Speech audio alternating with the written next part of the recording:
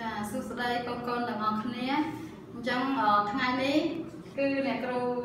ឲ្យកូនកូនទាំងអស់គ្នាទីមើលថាសត្វនេះគឺជាសត្វអ្វីរូបដែលអ្នកគ្រូបានបង្ហាញនេះតើសត្វកងានមែនឬក៏សត្វទាចាអញ្ចឹងកូនកូនស្គាល់អត់ចាអញ្ចឹងនេះគឺសត្វ សត្វធម្មតាអញ្ចឹងសត្វធម្មតានេះគឺស្រដៀងនឹងសត្វទាប៉ុន្តែសត្វធម្មតាគឺមានចម្ពោះរបស់វាធំហើយវែងហើយសត្វទាគឺមានចម្ពោះខ្លីហើយតូចនិងខ្លួនរបស់សត្វធម្មតាគឺធំជាងសត្វទាសត្វទាគឺមានខ្លួនតូចចាអញ្ចឹងនេះគឺសត្វធម្មតាអញ្ចឹងធម្មតាគឺផ្ដើមដោយអក្សរធចា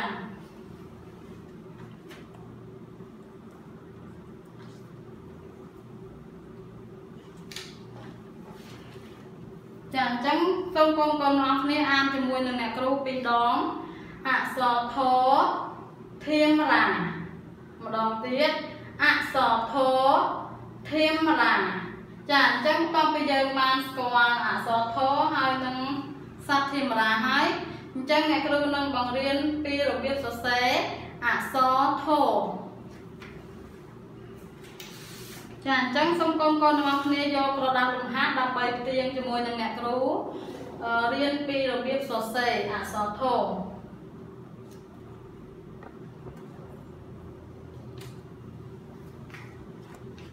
ចាអញ្ចឹងសូមយកខ្មៅដៃផងដាក់នៅចិត្តខ្លួនមក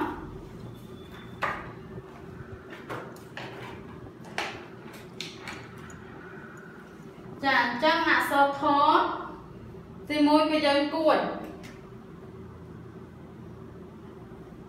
ចាគួចអញ្ចឹងហើយទាញទៅលើបន្ទាប់មកទាញទៅលើឲ្យត្រង់ចាហើយខ្ជួច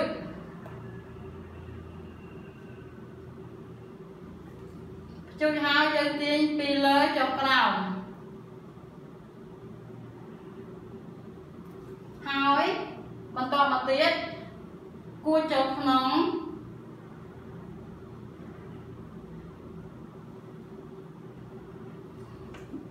ចាអញ្ចឹងគួចអញ្ចឹង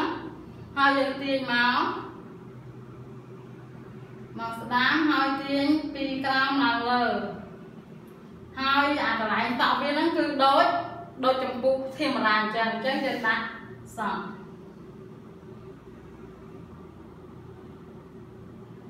ចាហើយចឹងនេះគឺអក្សរធចាអញ្ចឹងអ្នកគ្រូចំ អងទាញអត់ជាប់ចាចាអញ្ចឹងបន្ទាប់ពីយើងបានសរសេរតាមបន្ទាត់ចុចចុចតូចតូចកន្លះតូចតូចហ្នឹងហើយអ្នកគ្រូនឹងបង្រៀនសរសេរនៅក្នុងក្រឡាដែលអ្នកគ្រូបានគូស្រាប់នេះ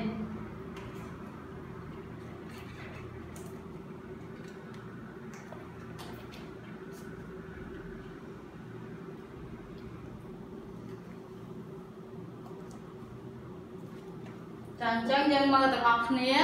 មើលដល់យកចិត្តទុកដាក់អញ្ចឹងទី1គឺយើងគួចគួចហើយយើងទាញទៅលើឲ្យត្រង់ចាឲ្យត្រង់អញ្ចឹងតមកយើងខ្ជូតវា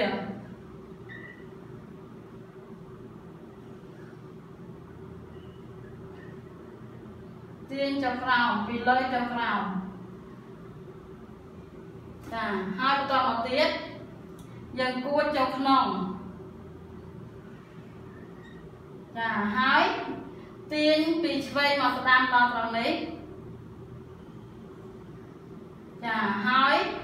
បន្តមកទៀតទាញពីក្រោមឡើងលើហើយដាក់ដាក់ចំពោះធម្មតានេះណាគេហៅថាសក់វា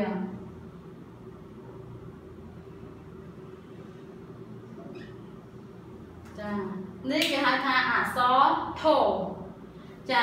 អញ្ចឹងបន្ទាប់ពីយើងបានរៀនសរសេរហើយនឹងស្គាល់ធម្មតាស្គាល់អក្សរធោអអញ្ចឹងអ្នកគ្រូមានហត្ថកម្មមួយដែលតកតងនឹងក្នុងការសរសេរឲ្យយើងបានរឹងដៃស្រួលសរសេរកាត់បិទកាត់ខ្មៅដែរចា៎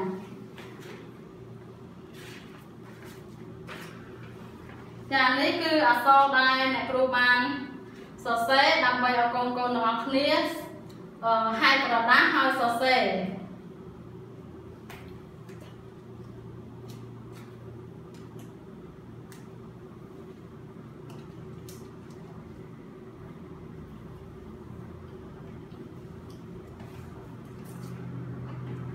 ចាអញ្ចឹងមុននឹងយើងហែកក្រដាស់សរសេរ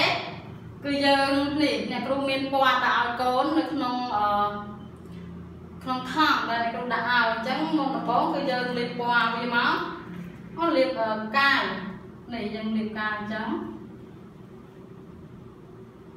ចាហើយអញ្ចឹងពេលកូនសរសេរគឺដូចអ្នកគ្រូបានបង្រៀនសរសេរអញ្ចឹងគឺយើងទាញពីក្រៅមុនអញ្ចឹងយើងហែកក្រដាស់ហើយតាមកូនចូលចិត្តធំក៏បានតូចក៏បានដាក់ឲ្យសរសេរដូចជា អក្សរនោះមកឲ្យឲ្យស្អាតឲ្យបានត្រឹមត្រូវចាយើងបិទមក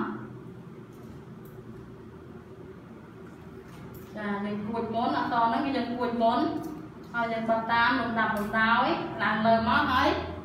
នេះអ្នកគ្រូអត់ចំណាយពេលយូរអញ្ចឹងវាខ្លាចជាអក្សរធំចាអញ្ចឹងអ្នកគ្រូបានបង បងរៀនឲ្យស្គាល់អក្សរធម៌ហើយនឹងពាក្យធៀមរាហើយរបៀបសរសេរអក្សរធម៌នឹងធ្វើហត្ថកម្មសរសេរដោយក្រដាស់យើងហែកបិទអញ្ចឹងសូមកូនកូនទាំងអស់គ្នាមើលវីដេអូហើយដោយយកចិត្តទុកដាក់ហើយនៅពេលដែលកូនអត់ច្បាស់សូមកូនមើលវីដេអូសារឡើងវិញចាអញ្ចឹងសារឡើងវិញហើយពេលកូនធ្វើហើយថតថតជារូបថតផ្ញើតាមឆាតឲ្យអ្នកគ្រូមើលផងចាអរគុណបាយ